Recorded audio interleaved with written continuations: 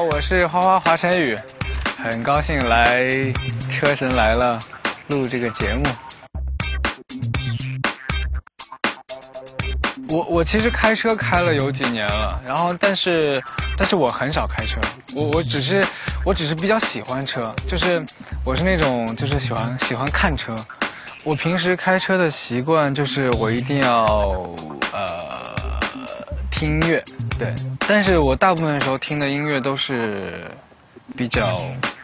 安静的，呃，就比如说嗯古典乐那样的，然后就是听古典乐开车还挺爽的，就是感觉会很不一样。如果开车的时候遇到按喇叭的话，啊、我反正我刚拿驾照的时候开车会比较慢，然后会有人按喇叭，但是我还是会开得很慢，因为因为开车这个东西它毕竟是跟生命挂钩的，还是要以安全为第一。对我从我开车到现在从来开了这么多年，我开了几年了？开了五年了吧？五年，但是我我没有违反过一次交规。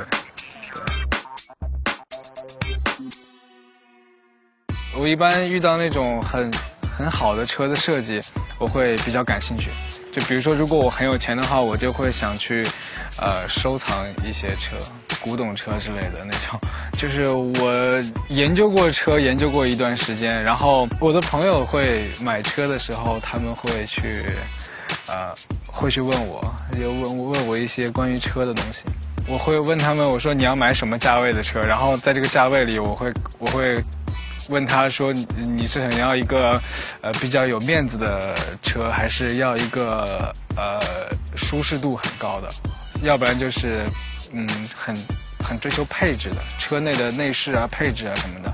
我就会给他们不同的推荐，就看他们喜欢什么样类型的。我我是很喜欢车，但是就但是唯独对开车不是很感兴趣，就是我不太追求速度啊，对，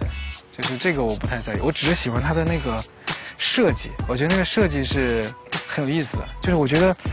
汽车设计是一个还蛮蛮伟大的一个艺术的，对。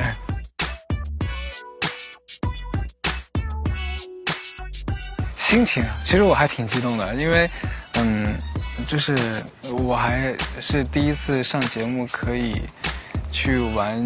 车，还挺有意思的。而且它这些，呃，就是设计的这些挑战项目，我觉得我也挺感兴趣，因为因因为我觉得我可以练一个技能，还挺好的。对，Hello，大家好，我是花花华晨宇，与明星约架，你敢来吗？